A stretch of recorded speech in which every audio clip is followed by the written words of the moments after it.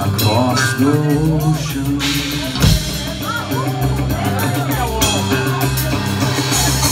Leaving just as memories.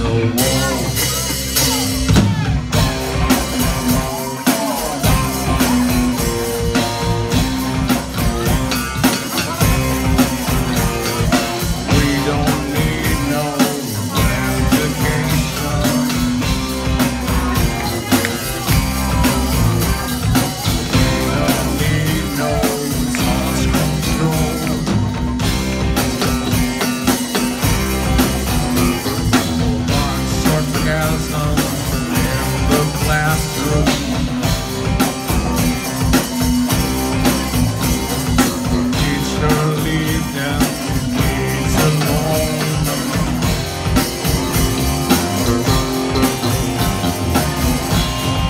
Hey, teacher, leave those kids alone.